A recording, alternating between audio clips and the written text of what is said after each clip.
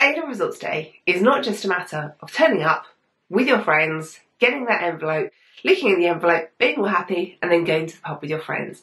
Unfortunately, there is a bit more to it than that. And the more to it than that starts the preparation for A-level results day because you can't just turn up and expect everything to be fine because you need to do some preparation for it. Now, obviously, plan A is turn up, get envelope, see brilliant results, confirm your place at university, everyone be happy, go to the pub. That's plan A.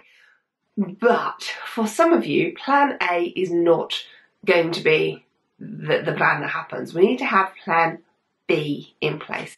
And you need to have plan B in place before you go to school on A level results day because things are going to happen very, very quickly if plan B needs to happen. Now, Hopefully it won't, but if it does happen, this is what we need to do very quickly. So plan B comes into place if you don't get the grades and you don't get your, your firm offer, you don't get your insurance offer.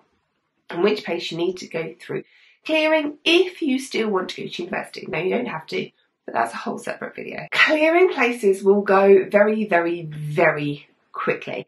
Now, the clearing place is already up on the website. You can go and search for those already. And that's what I want you to do because other people will. Universities want to fill their courses. They you pay to go to university.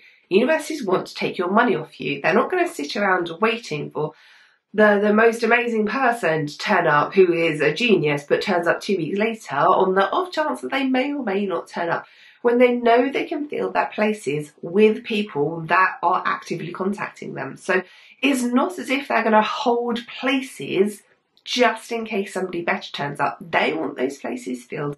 They want them filled quickly. So the quicker you are on that phone to that university on a results day, if you're going through clearing, the better. But oh, as you know, picking your university place is a big, big decision and it's not something that you can just do really, really quickly. You know how long it took you to fill in your UCAS application forms. So what I want you to do is think about it now. Get plan B in place now. Get your worst case scenario plan in place now. So what if you got like three grades below? So like one grade below for prestige A levels. What if you got two grades below?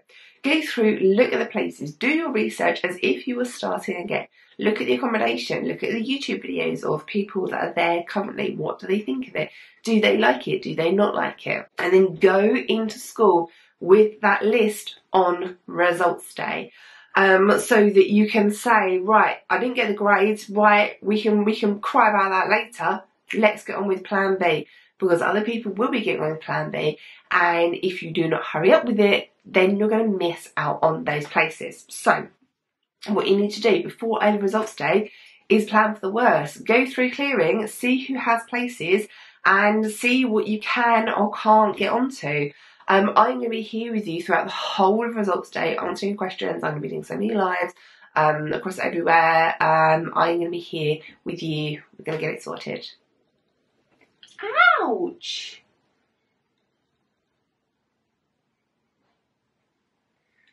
This is why in some videos I, explain scratches.